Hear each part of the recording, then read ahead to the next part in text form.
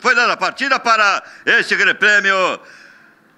Racing Charge 2011. Aqui por fora, Godimento aparentemente tomou a dianteira. O representante do senhor Juliano Gimenez. Vamos ver. Vamos acompanhar esses 402 metros de emoção. Pela baliza número 8, nós temos Gol lá pela 3, nós temos Fantástico Formi. Fantástico Formi aparentemente no mesmo páreo. Fantástico Formi foi o vitorioso. Na segunda colocação, gol de medal número 8. Fantástico Formi foi vitorioso. E aqui por fora, medal na segunda colocação.